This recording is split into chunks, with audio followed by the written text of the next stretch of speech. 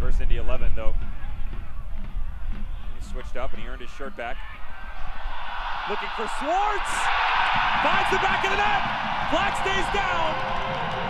Harry Swartz again for Hartford Athletic. And it's the first goal conceded on the road this year for St. Louis FC. 1-1 at the end. Well done on the backside. Notice Paris Gee allows the runner to get in behind him. Cannot do that. Have to stay goal side. Position your body within the ball and the runner. Good movement from Hartford, both on and off the ball.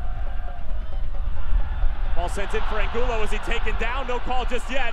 Dalgaard. Dalgaard still with it. Was he taken down? Yes, he was. Penalty.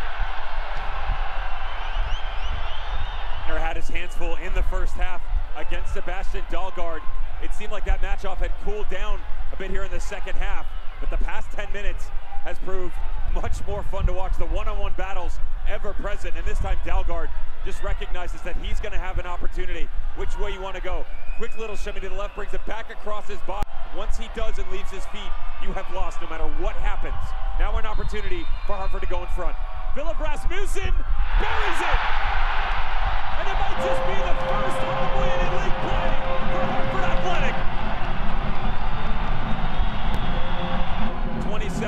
stayed with Steve Cook in 2018.